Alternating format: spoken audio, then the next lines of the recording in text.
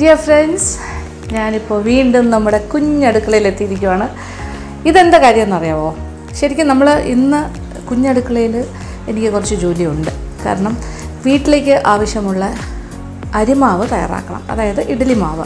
ഇഡ്ഡലി ദോശ മുതലായ കാര്യങ്ങൾക്കുള്ള മാവ് അരച്ചെടുക്കേണ്ട ഒരു ദിവസമാണ്. അപ്പോൾ അതിന് വെള്ളത്തിലിടണം അരി വെള്ളത്തിലിടണം ഉഴുന്ന് വെള്ളത്തിലിടണം അങ്ങനത്തെ കുറേ കാര്യങ്ങളൊക്കെ ഉണ്ടല്ലോ. അപ്പോൾ ഈ കൊച്ചടുക്കളയാണ് ആ കാര്യങ്ങൾക്കെല്ലാം കംഫർട്ടബിൾ വീട്ടിലാവശ്യത്തിനുള്ള ഇഡലി ദോശയ്ക്കൊക്കെയുള്ള ദോശയ്ക്കൊക്കെ മാവ് ഇടയ്ക്കിടയ്ക്ക് അരച്ച് വയ്ക്കും. അപ്പോൾ ഒരു ദിവസം അരച്ചാൽ രണ്ടോ മൂന്നോ ദിവസം ചിലപ്പോൾ എടുക്കാൻ പറ്റും. കൂടുതൽ ക്വാണ്ടിറ്റി ആണെങ്കിൽ. കുറച്ചാണെങ്കിൽ അങ്ങനെ. കുറച്ച് ക്വാണ്ടിറ്റി ഇപ്പോൾ ഒരു ദിവസത്തേക്ക് അല്ലെങ്കിൽ രണ്ട് ദിവസത്തേക്കൊക്കെ ഉണ്ടാക്കുമ്പോൾ മിക്സിയിൽ അരയ്ക്കുന്നത് വളരെ കൺവീനിയന്റ് ആണ്. വളരെ സൗകര്യപ്രദമാണ്. അപ്പോൾ എല്ലാ വീടുകളിലും ഇപ്പോൾ ഗ്രൈൻഡർ ഉണ്ടാവണമെന്നില്ല. പിന്നെ പെട്ടെന്ന് ചെയ്യാനായിട്ട് മിക്സി ഭയങ്കര സൗകര്യമാണ്. എങ്കിലും ഒരുപാട് പേർക്ക് സംശയമുണ്ട്. മിക്സിയിൽ എങ്ങനെയാണ് നല്ല ഇഡലിയുടെയും ദോശയുടെയും ബാറ്റർ തയ്യാറാക്കുന്നത്? പിന്നെ നമ്മളുടെ ഒരുപാട് എന്താ പറയുക നമ്മളിപ്പോൾ സാമ്പാർ കാണിച്ച സമയം തൊട്ട് ഒരുപാട് പേര് ചോദിക്കുന്നുണ്ട് നല്ല ഇഡലി ബാറ്റർ അല്ലെങ്കിൽ ദോശയുടെ ബാറ്ററൊക്കെ എങ്ങനെ തയ്യാറാക്കുന്നതെന്ന് അതിന്റെ കറക്റ്റ് പ്രപ്പോർഷൻ ഒന്ന് കാണിച്ചു തരുമെന്ന് കുറേ റിക്വസ്റ്റും ഉണ്ട്. അപ്പോൾ ഇതെല്ലാം മനസ്സിൽ വെച്ചിട്ടാണ് അപ്പോൾ ഞാൻ ഇന്ന് എന്തായാലും ഇവിടെ ഇഡലിക്കും ദോശയ്ക്കുമുള്ള ബാറ്റർ തയ്യാറാക്കാൻ പോകണം പിന്നെ എൻ ഞാനിപ്പോൾ തയ്യാറാക്കുന്ന ബാറ്ററിന്റെ ഒരു പ്രത്യേകത എന്താണെന്ന് വെച്ചാൽ രണ്ട് പ്രത്യേകതകളുണ്ട്. ഒന്ന് ഇത് ഗ്രൈൻഡറിന്റെ ആവശ്യമില്ല. ഇത് മിക്സിയിൽ തന്നെയാണ് ചെയ്യുന്നത്. അതാണ് ഒരു കാര്യം. രണ്ടാമത്തെ കാര്യം എന്ന് പറയുന്നത് ഇതേ ബാറ്റർ തന്നെ നമുക്ക് ഇഡലിക്കും ദോശയ്ക്കും ഒന്നുപോലെ ഉപയോഗിക്കാൻ പറ്റിയ ബാറ്ററാണ് അപ്പോൾ അതിന്റെ കറക്റ്റ് കണക്ക് ഞാൻ കാണിച്ചു തരാം. എത്ര അരിക്ക് എത്ര ഉഴുന്ന്. ആ ഒരു അത് മിക്സിക്ക് ഒരു കണക്കാണ് ഗ്രൈൻഡറിന് വേറൊരു കണക്കാണ്. ശരിക്കും മിക്സിക്കാണെങ്കിൽ കുറച്ചുകൂടെ കൂടുതൽ ഉഴുന്നിടും. ഗ്രൈൻഡറിലാണ് അരയ്ക്കുന്നതെങ്കിൽ ഉഴുന്ന് അത്ര ഇട്ടില്ലെങ്കിലും കുഴപ്പമില്ല നല്ല സോഫ്റ്റ് ഇഡലി കിട്ടും. അപ്പോൾ ഈ രീതിയിൽ ഞാൻ പറയുന്ന ഒരു പ്രൊപ്പോഷനിൽ ചെയ്യുകയാണെങ്കിൽ കറക്റ്റായിട്ടുള്ള ഒരു നല്ല സോഫ്റ്റ് ഫ്ലഫി ഗുണ്ടുമണി ഇഡ്ഡലി തയ്യാറാക്കാൻ സാധിക്കും. അതേ മാവിൽ നിന്ന് നല്ല ക്രിസ്പി ദോശയും തയ്യാറാക്കാം. അപ്പോൾ നമുക്ക് ഓരോന്നോരോന്നായിട്ട് ചെയ്യാം. എന്തൊക്കെയാണെന്ന് വെച്ചാൽ ഇതിൽ ഇടേണ്ട കാര്യങ്ങൾ. അപ്പോൾ കപ്പ് അളവാണെങ്കിൽ നമ്മൾ രണ്ട് കപ്പ് അരി. അരി എന്ന് പറഞ്ഞാൽ ഡൊപ്പി അരി. ഡൊപ്പി അരി എന്ന് പറഞ്ഞാൽ ഇഡ്ഡലി അരിയാണ്. ഇഡ്ഡലി അരി എന്ന് പറഞ്ഞാലും വാങ്ങാൻ കിട്ടും. ഡൊപ്പി അരി എന്ന് പറഞ്ഞാലും വാങ്ങാൻ കിട്ടും. അപ്പോൾ ട്രിവാൻഡ്രം സൈഡിലൊക്കെ ഡൊപ്പി അരി എന്ന് പറഞ്ഞാൽ അറിയാം. ഈ- ടൈപ്പ് അരിയാണ് വാങ്ങേണ്ടത്. കണ്ടല്ലോ? ഇതിന്റെ പേരാണ് ഡൊപ്പി. ഇത് ഈ അരി രണ്ട് കപ്പ്. ഇത് ഞാൻ മിക്സിയുടെ അളവാണ് പറയുന്നത്. രണ്ട് കപ്പ് അരി. കറക്റ്റ് മെഷർമെന്റ് എടുക്കാം. ഓക്കെ ഒന്ന് അതുപോലെ തന്നെ രണ്ട്. ഇങ്ങനെ രണ്ട് കപ്പ് പിന്നെ ഇതിന്റെ പ്രപ്പോഷൻ ഉഴുന്ന്. ഉഴുന്നിന്റെ അളവെന്ന് പറഞ്ഞാൽ ഒരു കപ്പ് ഉഴുന്നിടാൻ പോവാണ്. സ്പ്ലിറ്റ് ആയിട്ടുള്ള ഉഴുന്നല്ല രണ്ടായിട്ട് പിളർന്നതല്ല മുഴുവനേ ഉള്ള ഉഴുന്ന്. തൊലി കളഞ്ഞ് മുഴുവനേ ഉള്ള ഉഴുന്ന് ഒരു കപ്പ് ദേ നോക്കിക്കോളൂ. അതും കറക്റ്റ് കണക്കായിട്ട് തന്നെ ഒരു കപ്പ് ഉഴുന്ന്. പിന്നെ മൂന്നാമത്തെ കാര്യം എന്താണ്? ചൗവരി ചൗവരി നമുക്ക് അരക്കപ്പ് ഇതിപ്പോൾ കാൽ കപ്പിന്റെ മെഷറിംഗ് കപ്പാണ് എന്റെ കയ്യിലിരിക്കുന്നത്. ഇത് വൺ ഫോർത്ത് കപ്പിന്റെയാണ് അതുകൊണ്ട് ഇതിൽ രണ്ട് പോർഷൻ ഇടുന്നു. ഇത് കാൽ വീണ്ടും ഒരു കാലിടുന്നു അപ്പോൾ അരക്കപ്പ് ഇത് അരക്കപ്പ് ചൗരി അടുത്തൊരു കാര്യം കൂടിയുണ്ട് ഉലുവ. ഉലുവ എത്ര വെച്ചാൽ രണ്ട് ടീസ്പൂൺ ദേ രണ്ട് ടീസ്പൂൺ ഒരു ടീസ്പൂൺ ഇട്ടു. അപ്പോൾ രണ്ട് ലെവൽ ടീസ്പൂൺ ഇട്ടാൽ മതി. ലെവൽ ചെയ്ത്. ദേ നോക്കിക്കോളൂ. കുമിച്ചെടുക്കണം എന്നില്ല ലെവൽ ടീസ്പൂൺ രണ്ട് ടീസ്പൂൺ ഉലുവ. ഇനി ഇതെല്ലാം തന്നെ വെള്ളം ഒഴിച്ച് വയ്ക്കണം. അതിന് മുമ്പ് അരി നന്നായിട്ട് രണ്ട് മൂന്ന് വെള്ളം കഴുകി നല്ല ക്ലിയർ ആയിട്ട് വെള്ളം നല്ല ക്ലിയർ ആകുന്ന രണ്ടോ മൂന്നോ വെള്ളത്തിൽ കഴുകിയെടുക്കുക. ഉഴുന്നും അതുപോലെ തന്നെ ഒരു മൂന്നോ നാലോ അഞ്ചോ വെള്ളത്തിൽ കഴുകി നല്ല ക്ലിയർ വാട്ടർ ആക്കി എടുക്കണം. ഇത് രണ്ടുമാണ് ആദ്യം ചെയ്യേണ്ടത്. ദേ, അരി കഴുകി നമ്മൾ കുറച്ച് വെള്ളം ഒഴിച്ച് ആവശ്യത്തിന് വെള്ളം ഒഴിച്ചിട്ട് കുതിരാനായിട്ട് ഒരു സൈഡിലേക്ക് വെക്കുന്നു. ഇനി ഉഴുന്ന് ഉഴുന്നിലൊക്കെ ഒരുപാട് അഴുക്കുണ്ട് അതെല്ലാം നന്നായിട്ട് കഴുകി മാറ്റി ക്ലിയർ ആയിട്ടുണ്ട്. ഓക്കെ. ഓക്കെ വെള്ളം ഒഴിച്ച് വയ്ക്കുന്നു അപ്പോൾ രണ്ട് കാര്യങ്ങളും റെഡിയാണ്. ഇനി ഒരു കാര്യം ചൗവരി ചൗവരിയിലും അത് കുതിരാൻ ആവശ്യമുള്ള വെള്ളം. അതും ഒരു പ്രാവശ്യം ഒന്ന് കഴുകുന്നതിൽ തെറ്റില്ല. എല്ലാ സാധനവും നമ്മൾ വാങ്ങുന്നതല്ലേ? അപ്പോൾ എന്തെങ്കിലുമൊക്കെ അയച്ചുണ്ടാവുമല്ലോ. അത് കഴിഞ്ഞു. ഇനി അടുത്ത ഉലുവ. ഉലുവ രണ്ട് ടീസ്പൂൺ ആണല്ലോ. അത് കുറച്ച് വെള്ളം ഒഴിച്ച് വയ്ക്കും ഇങ്ങനെ എല്ലാ കാര്യവും പ്രത്യേകം പ്രത്യേകം നമ്മൾ കുതിരാനായിട്ട് വയ്ക്കുന്നു. ഇനി ഇതിൽ ഒരു കാര്യം കൂടി ചേർക്കാനുണ്ട്. ആ കാര്യം പക്ഷേ ഇപ്പോഴേ കുതിരാൻ വയ്ക്കേണ്ട. അതായത് വെളുത്ത അവൽ. ബീറ്റൻ റൈസ് വെളുത്ത അവലാണ്. അത് നമ്മൾ ഏകദേശം ഒരു കപ്പ് ചേർക്കും. പക്ഷെ അത് നേരത്തെ കുതിരാൻ വയ്ക്കേണ്ട ആവശ്യമില്ല. നമ്മൾ അരയ്ക്കുന്ന സമയത്ത് അരയ്ക്കുന്നതിന് തൊട്ട് മുന്നേ വെള്ളം ഒഴിച്ച് വെച്ചാൽ മതി കുതിർന്ന് വരും. പിന്നെ ഇനി ഇത് വെള്ളത്തിൽ കുതിരാൻ വെച്ച കാര്യങ്ങൾ. അരിയെല്ലാം നന്നായിട്ട് കഴുകി അതിലുള്ള വെള്ളമൊക്കെ കളയണം. ഊറ്റിയെടുക്കണം. പിന്നെന്താ? ഉഴുന്നിന്റെ വെള്ളം നമ്മൾ സൂക്ഷിച്ച് വെക്കണം. നമുക്ക് ഏകദേശം ഒരു രണ്ട് കപ്പ് ഉഴുന്നിന്റെ വെള്ളം ഈ ഉഴുന്ന് കുതിരാനിട്ടിരിക്കുന്ന ആ വെള്ളം ആ വെള്ളം നമ്മൾ ഒരു രണ്ട് കപ്പോളം എടുത്ത് മാറ്റി വെക്കണം. ബാക്കി ചൗവരിയൊക്കെ കറക്റ്റായിട്ട് കുതിർന്നിരിക്കും ഉലുവയും കുതിർന്നിരിക്കും. അപ്പോൾ ഇനിയുള്ള സമയം എന്ന് പറഞ്ഞാൽ വെയിറ്റിംഗ് ടൈമാണ് എന്തെന്ന് വെച്ചാൽ ഇതിപ്പോൾ വീട്ടിലല്ലേ? ഞാനിപ്പോൾ പല കാര്യങ്ങളുമായിട്ട് മുന്നോട്ട് പോവുകയാണ്. ഇത് അടച്ച് ഒരു സൈഡിൽ മാറ്റി വയ്ക്കും അത് കഴിഞ്ഞിട്ട് ഒരു സിക്സ് അവേഴ്സ് കഴിഞ്ഞിട്ട് ഞാൻ തിരിച്ച് വരുമ്പോൾ അരയ്ക്കുന്ന സമയത്ത് ഞാൻ വീണ്ടും അതിന്റെ കാര്യങ്ങൾ പറഞ്ഞു തരാം. ഓക്കെ ഇപ്പോൾ ക്ലിയർ ആയല്ലോ. അപ്പോൾ ഇനി ആഫ്റ്റർ സിക്സ് അവേഴ്സ് കാണാം.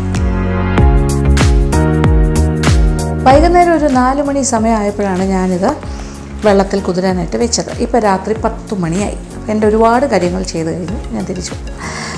അപ്പോൾ ദേ നോക്കിക്കോളൂ. എല്ലാം കുതിർന്നിരിക്കുകയാണ് നമ്മുടെ അരി കണ്ടോ? Clean clean.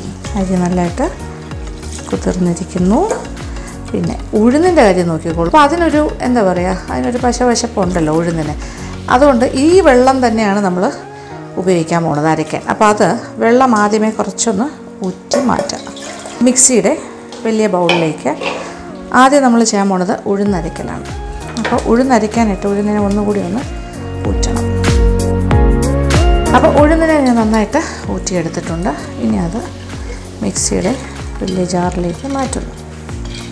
കണ്ടല്ലോ? ഇട്ടിട്ട്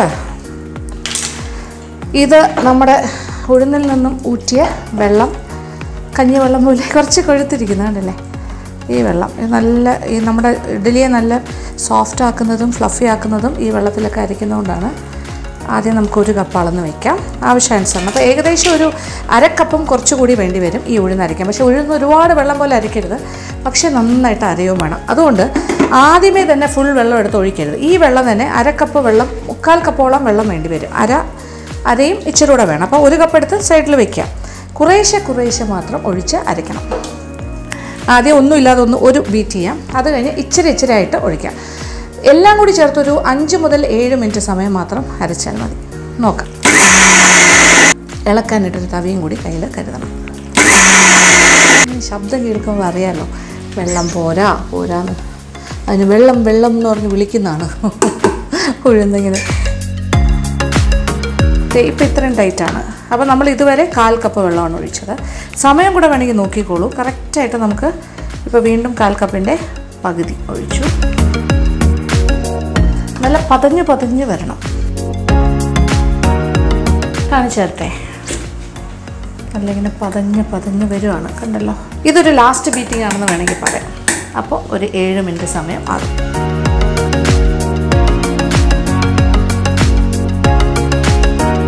പിന്നെ വേറൊരു കാര്യം എല്ലാവരും പറയുന്നത് എന്താ വെച്ചാൽ മിക്സിയിലായിരിക്കും മിക്സി ഭയങ്കരമായിട്ട് ചൂടാകും. അതിനെ ഒഴിവാക്കാൻ പറ്റുന്ന ഏറ്റവും നല്ല മാർഗം എന്ന് പറയുന്നത് ഇപ്പോൾ ഉഴുന്ന് നമ്മൾ കുതിർത്ത് വെച്ചിട്ടുണ്ടല്ലോ ആ ഉഴുന്നിനെ അതായത് നമ്മൾ അരയ്ക്കാൻ എടുക്കുന്നതിന് കുറച്ച് നേരം മുമ്പേ ഫ്രിഡ്ജിൽ വെച്ചിരുന്നാൽ തണുത്തിരിക്കും. അത് എടുത്തിട്ട് ആ വെള്ളവും കുറച്ച് തണുത്തിരിക്കും അല്ലേ? ഉഴുന്നിന്റെ വെള്ളം. ആ വെള്ളം തണുത്ത വെള്ളമായിരിക്കും ഉഴുന്നിനും ഒരു തണുപ്പുണ്ടാകും. പിന്നെ ഈ അരി കുതിർത്ത് വെച്ചിരിക്കുന്നതും ആറ് മണിക്കൂർ കഴിഞ്ഞാൽ ഒരു മണിക്കൂർ വേണമെങ്കിൽ വെള്ളത്തിൽ ഫ്രിഡ്ജിനകത്ത് വെക്കാം വെള്ളത്തോടു കൂടി. അപ്പോൾ എല്ലാത്തിനും ഒരു തണുപ്പുണ്ടാകും. എന്നിട്ട് അരയ്ക്കുമ്പോൾ ഇതിന്റെ ഒരു നാച്ചുറൽ ചൂടുണ്ടാകുമല്ലോ അത് ന്യൂട്രലൈസ് ചെയ്യും ഈ തണുപ്പിനെ. അങ്ങനെയും ചെയ്യും.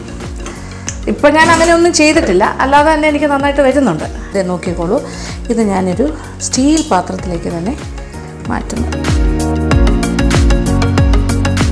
നല്ല ഫ്ലഫി ആയിട്ടാണ് അരച്ചിരിക്കുന്നത്. ഇതിനൊരു ടെസ്റ്റും കൂടി ഉണ്ട് അതും കൂടി കാണിച്ചു തരാം. ഇത് നല്ല കറക്റ്റ് പതഞ്ഞോ ഇല്ലയോ എന്ന് അറിയുന്നതിനുള്ളൊരു മാർഗം. ആ മാർഗം എന്ന് പറഞ്ഞാൽ ഇച്ചിരി വെള്ളം എടുക്കാം. ഈ വെള്ളത്തിനകത്തേക്ക് ഈ മാവിൽ നിന്നും ഒരല്പം എടുത്ത് ഇടുക. കുറച്ച് മതി. അതിങ്ങനെ ഫ്ലോട്ട് ചെയ്ത് കിടക്കും. കണ്ടല്ലോ? ഇങ്ങനെ ഒരു ഫ്ലോട്ടിങ് ആയിട്ട് അതിന്റെ അർത്ഥം നല്ല പതഞ്ഞ് അരഞ്ഞ് വന്നിട്ടുണ്ട് എന്നാണ് അരി ഇട്ട് അരയ്ക്കാം.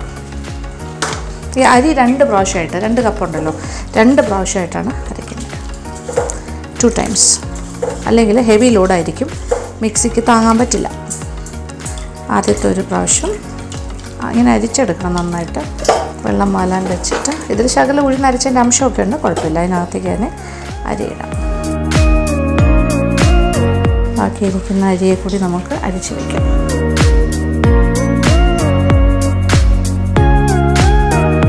ഇതും അധിക സമയമൊന്നും വേണ്ട.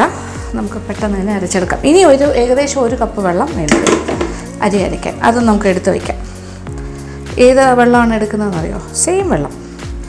ഉഴുന്നരച്ച അതേ വെള്ളം. ഇപ്പോൾ വെള്ളം ഒന്നും ഒഴിച്ചിട്ടില്ല. ആദ്യം വെറുതെ ഒന്ന് ഇനി ഇതിലേക്ക് വെള്ളം ഒഴിച്ച് തുടങ്ങാം ആദ്യമേ ഒത്തിരി വെള്ളം ഒഴിക്കണ്ട. കുറേശ്ശെ കുറേശ്ശെ ഒഴിക്കാം.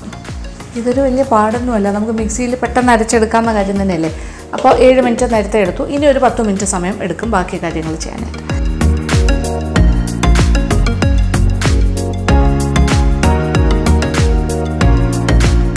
സാധാരണ ഇഡ്ഡലിക്ക് മാവ് അരയ്ക്കുമ്പോൾ ഒരുപാട് പേസ്റ്റ് പോലെ ആകാൻ പാടില്ല എന്ന് പറയും അരി.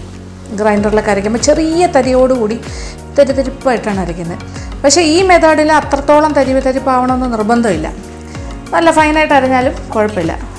പക്ഷേ ഒരു അല്പം ഇരുന്നാലും കുഴപ്പമില്ല.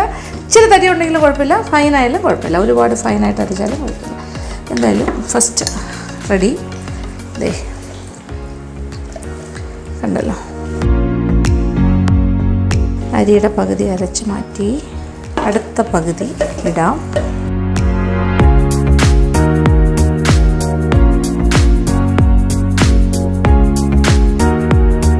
ദേ കണ്ടില്ലേ ഈ രീതിയിലേക്ക് ഇത്ര അരഞ്ഞു. പോരാ ഇനി അരയണം. ഇച്ചിരി ടൈറ്റാണ് ഏതാണ്ട് അരഞ്ഞ് കഴിയാറാകുന്ന ഈ ഒരു സ്റ്റേജിൽ ഞാൻ ഈ ചൗവരിയെ കൂടി ഒന്ന് അരിക്കാൻ പോവാണ്. ഇത് നമ്മൾ അര അരക്കപ്പ് ചൗവരിയാണ് വെള്ളത്തിൽ കുതിർ കുതിർന്ന് കഴിയുമ്പോൾ കുറച്ചുകൂടി ക്വാണ്ടിറ്റി തോന്നിക്കും. ഇനി ഈ ചൗവരിയുടെ കുറച്ച് മുഴുവനും വേണ്ട ഒരു പകുതി ഒരു പകുതി ഇവിടെ ഇരിക്കട്ടെ ഇതിവിടെ ഇരിക്കട്ടെ. ഈ പകുതി ഈ അരിയുടെ കൂടെ ഇടാം. രണ്ടാമത് അരച്ചുകൊണ്ടിരിക്കുന്ന അരിയിലേക്കാണ് ഞാൻ ഇട്ടിരിക്കുന്നത് അപ്പോൾ ചൗരിയിലും കുറച്ച് വാട്ടർ കണ്ടന്റ് ഉണ്ട്. അത് കുതിർന്നിരിക്കുന്നതല്ലേ? പിന്നെ ഇനി വെള്ളം ഒഴിക്കണ്ട.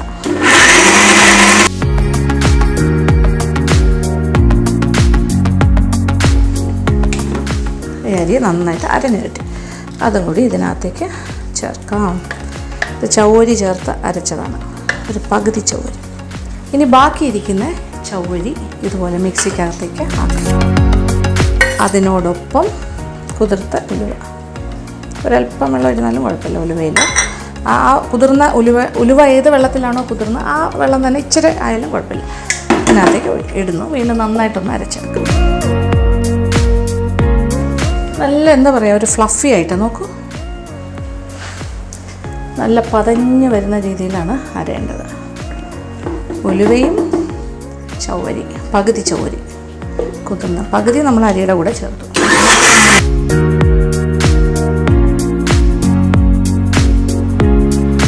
അതിനൊരു ചെറിയ കളർ ഡിഫറൻസ് കാണുന്നത് ഉലുവയുടെ കളറാണ്. അതൊന്നും കുഴപ്പമില്ല. അത് ഇതിന്റെ കൂടെ ചേർന്ന് വരുമ്പോൾ എല്ലാം ഓക്കെയാണ് ഇനി നമ്മൾ ഒരു കാര്യം കൂടെ ചേർക്കണം. അപ്പോൾ ഏതാണ്ട് എല്ലാ കാര്യങ്ങളും അരച്ചു കഴിഞ്ഞു. ഇനിയുള്ളത് വെളുത്ത അവൽ. അത് ഞാൻ പറഞ്ഞില്ലേ ലാസ്റ്റ് മിനിറ്റ് ഇട്ടാലും മതിയാകും. ദേ ഒരു കപ്പ് അളന്നെടുക്കുന്നു. ഒരു പാത്രത്തിലേക്ക് മാറ്റിയിട്ട് ഇതും നമുക്ക് എന്താ ചെയ്യണ്ടേ? നമ്മുടെ ഈ സെയിം വെള്ളത്തിൽ തന്നെ കുതിരാനായിട്ട് വയ്ക്കാം ഉഴുന്നിന്റെ വെള്ളം ഉണ്ടെങ്കിൽ അത്. ഒരു കപ്പ് വെള്ളം എടുക്കുക. ഇതിപ്പോൾ തന്നെ കുതിർന്ന് കിട്ടും. അഞ്ച് മിനിറ്റ് പോലും വേണ്ട. ഇത് പെട്ടെന്ന് രണ്ട് മൂന്ന് മിനിറ്റ് കൊണ്ട് കുതിർന്ന് കിട്ടും. അത് കഴിഞ്ഞാൽ നമ്മൾ അവൽ മാത്രമായിട്ട് നന്നായിട്ട് പേസ്റ്റ് പോലെ അരയ്ക്കുന്നു. അതും കൂടി ഇതിനകത്തേക്ക് ചേർക്കും. എന്നിട്ട് കൈ കൊണ്ട് നന്നായിട്ട് ഞെകിടി യോജിപ്പിക്കണം. പിന്നെ ഇച്ചിരി ഉപ്പും കൂടി ചേർക്കണം. എന്നിട്ടാണ് ഇത് മാവ് പൊങ്ങാനായിട്ട് വെക്കേണ്ടത് അപ്പോൾ അളവല്ല ഏകദേശം മനസ്സിലായി. അപ്പോൾ ഇത് മിക്സിയിൽ അരയ്ക്കേണ്ട അളവാണ് ഞാൻ പറഞ്ഞത്. ഗ്രൈൻഡർ ആണെങ്കിൽ ഇത്ര ആവശ്യമില്ല. ഗ്രൈൻഡർ ആണെങ്കിൽ സാധാരണയായിട്ട് ചെയ്യുന്നത് ഇപ്പോൾ രണ്ട് കപ്പ് അരിക്ക് അര കപ്പ് ഉഴുന്ന് ചേർത്താലും മതി. അരക്കപ്പിനെ കപ്പിനെ കുറച്ച് ഹീപ്റ്റാക്കിയിട്ട് അതായത് അരക്കപ്പും കപ്പും അതിന്റെ കൂടെ ഒരു അല്പം കൂടി ഇട്ട് ഇടുക. അങ്ങനത്തെ ഒരു കണക്ക്. പിന്നെ കപ്പ് കണക്കല്ല അല്ലാത്തൊരു കണക്ക് പറയുകയാണെങ്കിൽ അര കിലോ അരിക്ക് നൂറ്റി അൻപത് ഗ്രാം ഉഴുന്ന്. അതാണ് ഗ്രൈൻഡറിന്റെ കണക്ക്. പക്ഷേ മിക്സിയിൽ അരയ്ക്കുമ്പോൾ അത്രയും പതപ്പിച്ച് നന്നായിട്ട് കിട്ടണം എന്നുണ്ടെങ്കിൽ ഉഴുന്നിന്റെ അളവ് കൂടുതൽ തന്നെ ചേർക്കണം. അതാണ് ഞാനിപ്പോൾ കൂടുതൽ ചേർത്തിരിക്കുന്നത് രണ്ട് കപ്പ് അരിക്ക് ഒരു കപ്പ് ഉഴുന്ന് ചേർത്തു. ആ കൺഫ്യൂഷൻ ഒന്നും വേണ്ട. ഇതുപോലെ ഈ മെത്തേഡ് ഫോളോ ചെയ്യുക. ഇതൊരു ഒരു ഫുൾ പ്രൂഫായിട്ടുള്ളൊരു മെത്തേഡാണ് ഈ ഒരു റെസിപ്പി അതുപോലെ ഫോളോ ചെയ്താൽ നിങ്ങൾക്ക് നല്ല ഗുണ്ടുപണി ഇഡലി നല്ല സോഫ്റ്റ് പഞ്ഞി പോലെ ഇരിക്കും സൈസ് ഉണ്ടാകും നല്ല ഉരുണ്ട് നല്ല ഷേപ്പിൽ വരും. വെളുത്ത അവൽ കുതിർന്ന് കഴിഞ്ഞു. ഒരു രണ്ട് മിനിറ്റ് പോലും ആയില്ല. അപ്പോൾ ഇനി ഇതിനെ ഒന്ന് അരച്ചെടുക്കാം. ഇനി ഇതേ പാത്രത്തിലേക്കാണ് മിക്സിയിൽ തന്നെ കുതിർന്നിരിക്കുന്ന അവലും ചേർക്കാം. പേസ്റ്റ് പോലെ അരച്ചെടുക്കാം. നല്ല മാവ് പോലെയാകും അങ്ങനെ എല്ലാ കാര്യവും റെഡി നന്നായിട്ട് ഞെകിടി ഒരു രണ്ട് മൂന്ന് മിനിറ്റ് ഇങ്ങനെ നന്നായിട്ടൊന്ന് യോജിപ്പിക്കും.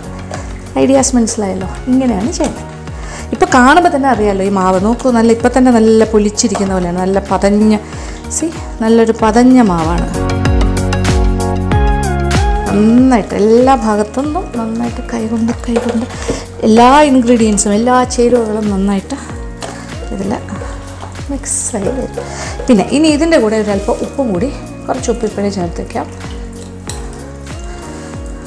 ഒരല്പം ഉപ്പ്. പിന്നെ ആവശ്യമുള്ള ഉപ്പും കൂടി ചേർത്തിട്ട് ഒന്നുകൂടി നന്നായിട്ട് മിക്സ് ചെയ്യാം. ഇനി വേറൊന്നും ചെയ്യാനില്ല. ഇതിന്റെ സൈഡ്സ് ഒന്ന് ക്ലിയർ ചെയ്യാം. ഈ സൈഡിലൊക്കെ ഇങ്ങനെ പറ്റി പിടിച്ചിരിക്കുന്ന മാവിനെ കുറച്ച് വെള്ളം കൊണ്ട് നമ്മളിങ്ങനെ തുടച്ച് മാറ്റണം.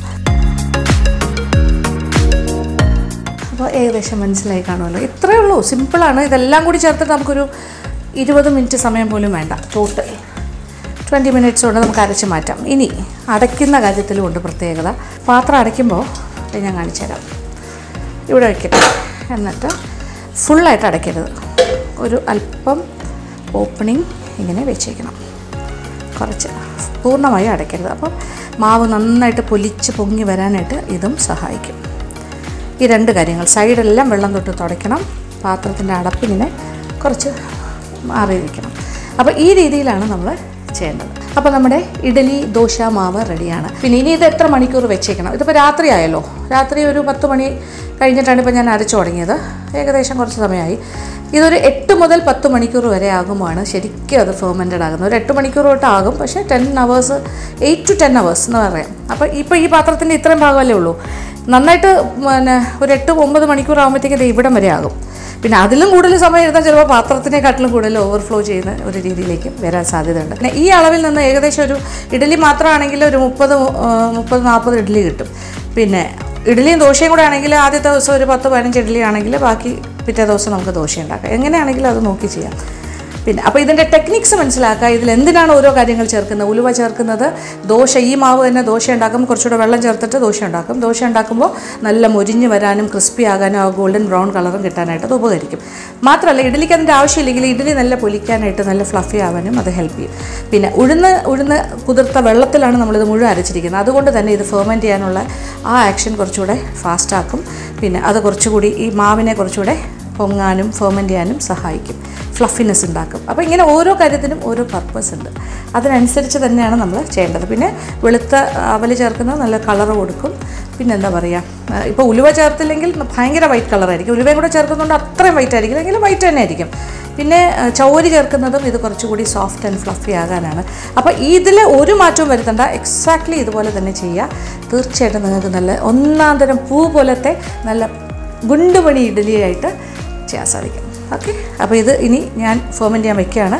ഇനി നാളെ ഞാനിത് ഇഡലിയായിട്ടും ദോശയായിട്ടും ഒക്കെ ഉണ്ടാക്കും. അപ്പോൾ ആ സമയത്ത് നമുക്ക് വീണ്ടും കാണാം. ഓക്കെ അതാണ് നല്ല കാര്യം. അപ്പോൾ ഈ ഒരു പ്രോസസ്സിന്റെ ആദ്യത്തെ സ്റ്റേജ് അപ്പോൾ നമ്മളുടെ അരിമാവ് ഞാൻ അരച്ച് വെച്ചത് ഒരു എട്ട് പത്ത് മണിക്കൂർ കഴിയുമ്പോൾ കറക്റ്റായിട്ട് പൊങ്ങും ഞാൻ പറഞ്ഞിരുന്നല്ലോ. അപ്പോൾ അത് ഫെർമെന്റഡ് ആയി. അപ്പോൾ ഇത് തലേദിവസം അരച്ച് വെച്ചതാണ്. അരച്ച പ്രോസസ്സൊക്കെ നിങ്ങൾ കണ്ടു കഴിഞ്ഞല്ലോ. അപ്പോൾ ഇനി എന്താ ചെയ്യാൻ പോകണം ഇതിപ്പോൾ ഇതിപ്പോൾ സത്യം പറഞ്ഞാൽ എട്ട് മണിക്കൂർ മതി ഇത് ഫെർമെന്റ് ചെയ്ത് വരെ എയ്റ്റ് ടു ടെൻ അവേഴ്സ് ധാരാളം മതി. ഇതിപ്പോൾ അതിലും കൂടുതൽ സമയമായിട്ടുണ്ട്. അതുകൊണ്ട് സാധാരണ പൊങ്ങുന്നതിനെക്കാട്ടിലും കൂടുതൽ പൊങ്ങിയിരിക്കുവാണ്. ഞാനിത് അടപ്പ് തുറക്കാൻ തന്നെ എനിക്ക് പേടിയാണ്. അത്രയ്ക്ക് പൊങ്ങി കഴിഞ്ഞു. നോക്കൂ. ഇത്രയും പൊങ്ങി. പാത്രത്തിന്റെ പകുതി ഉണ്ടായിരുന്നുള്ളൂ. ഇത് ഇത്രയും ഉണ്ടായിരുന്നുള്ളൂ. കണ്ടതാണല്ലോ. അത് ഇത്രയും പൊങ്ങി. പക്ഷേ ഇത് ഇച്ചിരി ഓവർ ടൈമാണ് കേട്ടോ. സാധാരണ ഇത്രയും പൊങ്ങത്തില്ല. നിങ്ങൾ കറക്റ്റ് എട്ട് മണിക്കൂർ അല്ലെങ്കിൽ പത്ത് മണിക്കൂർ സമയം കഴിഞ്ഞാലാണെങ്കിൽ കറക്റ്റായിട്ട് പൊങ്ങിയിട്ടുണ്ടാവും. ഇത് ഇച്ചിരി കൂടുതലായിട്ട് പൊങ്ങിപ്പോയി. ഇച്ചിരി കൂടെ സമയമായി. എനിക്ക് ആ കറക്റ്റ് എയ്റ്റ് ടു ടെൻ അവേഴ്സിൽ ഇത് മിക്സ് ചെയ്യാൻ പറ്റിയില്ല. ഇനി നമ്മൾ ഒന്ന് ഇളക്കാം. ഇത് നോക്കൂ. ഇച്ചിരി കൂടുതൽ പൊങ്ങിപ്പോയിന്നേ ഉള്ളൂ.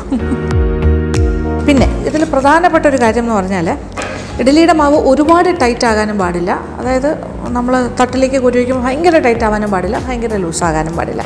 ഒരു പാകത്തിന് ഒരു മീഡിയം കൺസിസ്റ്റൻസിയാണ് വേണ്ടത്. സെമി അപ്പോൾ നമ്മൾ ഓരോ തട്ടായിട്ട് ഇങ്ങനെ കുറച്ച് നല്ലെണ്ണ തടവി കൊടുക്കാം. ഓരോ തട്ടിലായിട്ട് നമുക്കിങ്ങനെ കുറേശ്ശെ മാവ് കോരി ഒഴിക്കാം.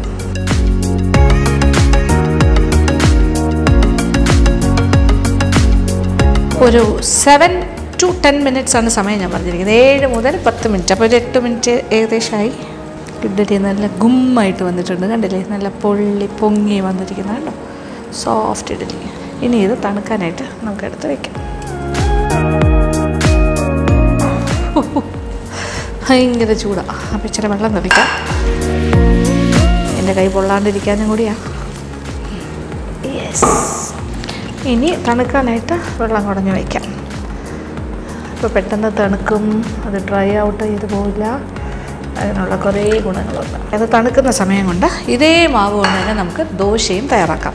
ഇനി ദോശയ്ക്ക് വേണ്ടി പ്രത്യേകിച്ച് മാവ് തയ്യാറാക്കേണ്ട ആവശ്യമില്ല. ഈ ഒരു മാവിന്റെ അഡ്വാന്റേജ് അല്ലെങ്കിൽ ഗുണം എന്താ വെച്ചാൽ ഇതേ സാധനം കൊണ്ട് തന്നെ നമുക്ക് ദോശയും ഇഡ്ഡലിയും ഉണ്ടാക്കാം. അപ്പോൾ ആദ്യത്തെ ദിവസം നമ്മൾ ഇഡ്ഡലി ഉണ്ടാക്കുക. ഞാൻ അങ്ങനെ ചെയ്യുന്നത്. നമ്മുടെ വീട്ടിൽ മാവ് ഇങ്ങനെ ഫ്രഷായിട്ട് ആട്ടിയ മാവ് ഉള്ള സമയത്ത് കറക്റ്റായിട്ട് ഇഡ്ഡലി ഉണ്ടാക്കും ഫസ്റ്റ് ഡേ പിന്നെ ബാക്കിയുള്ള മാവ് ബാക്കി ഉണ്ടെങ്കിൽ മിക്കവാറും രണ്ട് ദിവസത്തേക്ക് വരും. പിറ്റേ ദിവസം ദോശയാക്കി മാറ്റുമ്പോൾ ഗീ റോസ്റ്റോ തട്ട് ദോശയോ അങ്ങനെ എന്ത് വേണമെങ്കിലും ചെയ്യാമല്ലോ അപ്പോൾ നമുക്ക് ഈ അടുപ്പിൽ നിന്നും നമ്മളുടെ ഇഡ്ഡലി കുട്ടുകൾ മാറ്റുന്നു. വീണ്ടും അടുപ്പ് കത്തിച്ചിട്ട് എന്റെ സീസൺഡ് ദോശക്കല്ല് വയ്ക്കുക. ഈ സീസണിന്റെ ദോശക്കല്ല് എന്ന് പറഞ്ഞാൽ ഇത് ഇനാമലൊന്നും പോയതൊന്നും അല്ല കേട്ടോ. ഇത് കറക്റ്റായിട്ടുള്ളതാണ് ഇച്ചിരി പഴക്കം ഉണ്ടെന്നേ ഉള്ളൂ. പക്ഷേ നന്നായിട്ട് ഇളകി വരും. ബാക്കിയുള്ള മാവിൽ നിന്ന് ഞാൻ കുറച്ചെടുത്തിട്ടുണ്ട്. പിന്നെ ഇതിന്റെ കൺസിസ്റ്റൻസി ഒരല്പം വെള്ളം കൂടി വേണമെങ്കിൽ ചേർത്ത് ദോശയുടെ പാകത്തിന് ആക്കാം. പരത്താൻ എങ്ങനെയാണ് കണക്കിന് നോക്കാം. അപ്പോൾ ഞാൻ എന്തായാലും ഗീ റോസ്റ്റാണ് പ്ലാൻ ചെയ്യുന്നത്. അപ്പോൾ ഒരു കാര്യം കൂടി കാണിച്ചു തരാം. നമ്മുടെ ഈ എന്താ പറയുക ഇങ്ങനെ തുടയ്ക്കുന്ന കാര്യമില്ലേ അതിന് പറ്റിയ ഒരു ബോക്സാണിത്. ഇതിലിങ്ങനെ മൂന്ന് പീസ് ഉണ്ട് ഇങ്ങനെ ഒരു കാര്യം. അതിനകത്തൊരു സ്പ്രിങ്. അതിന്റെ മുകളിലൊരു കാര്യം. ഇനി ഇതിനകത്തേക്കാണ് ഞാൻ എണ്ണ ഒഴിച്ച് വയ്ക്കുന്നത് കുറച്ച് നല്ലെണ്ണ ഇങ്ങനെ ഒഴിച്ച് വെച്ചിരുന്നാലുള്ള അഡ്വാന്റേജ് എന്താ വെച്ചാൽ ഇതിനകത്തേക്ക് ഇങ്ങനെ ഒരു കാര്യം കൂടി വയ്ക്കും അടച്ച് വയ്ക്കും എന്നിട്ട് തുണിയാണെങ്കിൽ തുണി എന്താണെങ്കിലും. ഇങ്ങനെ മുക്കാൻ നമുക്ക് നല്ല സൗകര്യമാണ്. നോക്കുക അതിങ്ങനെ പ്രസ് ചെയ്യുമ്പോൾ മുങ്ങി കിടക്കും. പിന്നെ ഇതിന് സേഫ്റ്റി എന്താ വെച്ചാൽ അടച്ചു വയ്ക്കാനും പറ്റും. അങ്ങനെയുള്ള കുറേ ഗുണമുള്ളൊരു ക്യൂട്ട് പാത്രമാണ്. കണ്ടില്ലേ? ഇത് പണ്ടെപ്പോഴും മേടിച്ചാണ് കേട്ടോ. അപ്പോൾ ഇത് അടച്ചു വയ്ക്കാം അപ്പോൾ ഇങ്ങനെ പാറ്റ മുതലായ കാര്യങ്ങളിൽ നിന്നൊക്കെ രക്ഷപ്പെടാം. പിന്നെ ഇതിലിങ്ങനെ നല്ലതായിട്ട് എണ്ണയിൽ മുങ്ങി കിടക്കല്ലേ? തുണി. തുണിയാണെങ്കിൽ അങ്ങനെ ഇതിന്റെ കൂടെ ശരിക്കും പറഞ്ഞാൽ ഒരു ഇത് ഇതിൽ ഡിപ്പ് ചെയ്യാനുള്ളൊരു കാര്യം ഒരു ബ്രഷ് പോലൊരു സാധനം കൂടി ഉണ്ടായിരുന്നു. അത് കളഞ്ഞു പോയി. എവിടെയോ കളഞ്ഞു പോയി. അതിന് ശേഷമാണ് ഞാൻ ഈ തുണിയാക്കിയത്. മറ്റേത് ആ ആ ബ്രഷ് പോലത്തെ ഒരു കാര്യം കൂടി അതിനകത്ത് വയ്ക്കാം എന്നിട്ടാണ് അടയ്ക്കുന്നത്. അപ്പം ദോശക്കല്ല് ചെറുതായി ചൂടായി. ചെറിയ രീതിയിലിട്ട് വെച്ചിരിക്കുകയാണ്. അപ്പോൾ ചൂട് ക്രമീകരിച്ചിട്ട് വേണം ദോശയുടെ മാവ് കോരി ഒഴിക്കാൻ. കുക്കിങ്ങിന്റെ ഇടയിൽ കുറച്ച് എണ്ണയൊക്കെ കയ്യിൽ പിടിക്കാൻ കിട്ടുമ്പോൾ നല്ലെണ്ണയോ വെളിച്ചെണ്ണയോ നെയ്യോ എന്ത് കിട്ടിയാലും വെണ്ണയോ എന്ത് കിട്ടിയാലും തേച്ച് പിടിപ്പിക്കുക. ഞാൻ എപ്പോഴും അങ്ങനെ ചെയ്യും. അപ്പോൾ കൈയെല്ലാം നല്ലതായിട്ട് അപ്പോൾ ആ ഡ്രൈനെസ് മാറിക്കിട്ടും. അപ്പോൾ ഒരല്പം വെള്ളം കൂടി ഒഴിച്ചിട്ട് നമുക്ക് ദോശയുടെ മാവിനെ കുറച്ചുകൂടെ ലൂസാക്കണം. ഇഡലിയുടെ പാകമല്ല. ഇഡലിക്ക് ഒരുപാട് ടൈറ്റും ആകരുത് ഒരുപാട് ലൂസും ആകരുത്. പക്ഷേ ദോശയ്ക്ക് ഇച്ചിരി ലൂസ് വേണം. അപ്പോൾ ഉപ്പൊക്കെ അതനുസരിച്ചിട്ട് ക്രമീകരിക്കുകയും ചെയ്യാം.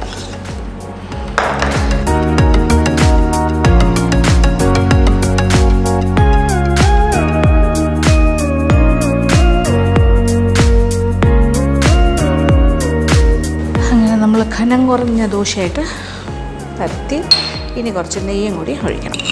അതൊന്ന് ചെറുതായി ഒന്ന് വെന്ത് തുടങ്ങുമ്പോൾ നെയ്യ്.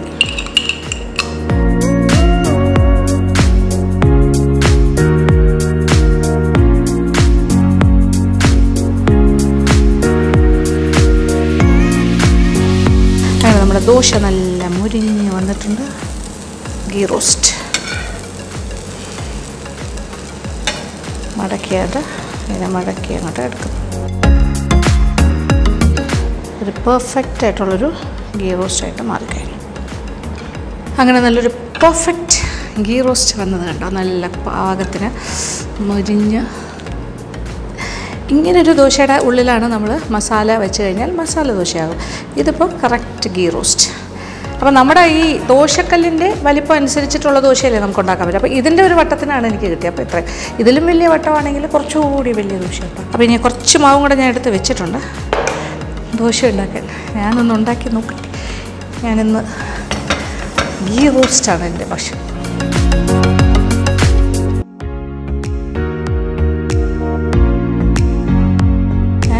അടുപ്പ് മാറ്റി മറിച്ച് ഈ അടുപ്പ് ഈ അടുപ്പ് മാറി മാറി യൂസ് ചെയ്തുകൊണ്ടിരിക്കുകയാണ്. കാര്യം ഇതിൽ ഭയങ്കര നല്ല ചൂടാണ്. അതിൽ അത്രയും ചൂടില്ല. അപ്പോൾ തുടക്കത്തിൽ ആ അടുപ്പ് നല്ലതാണ്. അപ്പോൾ അത് കഴിഞ്ഞാൽ പെട്ടെന്ന് മുരിയാനായിട്ട് ഇപ്പുറത്തെ അടുപ്പ്. ഒന്ന് തണുത്തിട്ടുണ്ട്. ഇനി നമുക്ക് പ്ലേറ്റിൽ നിന്ന് പ്ലേറ്റിലേക്ക് മാറ്റാം.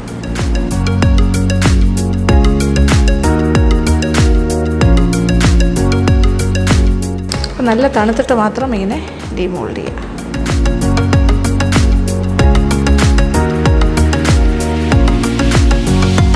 അങ്ങനെ നല്ല ബ്യൂട്ടിഫുൾ ആയിട്ടുള്ള ഇഡ്ഡലികളാണ് നമ്മുടെ കിട്ടിയിരിക്കുന്ന ഒരു പതിനഞ്ചെണ്ണം. നോക്കൂ എന്ത് സോഫ്റ്റ് അറിയോ?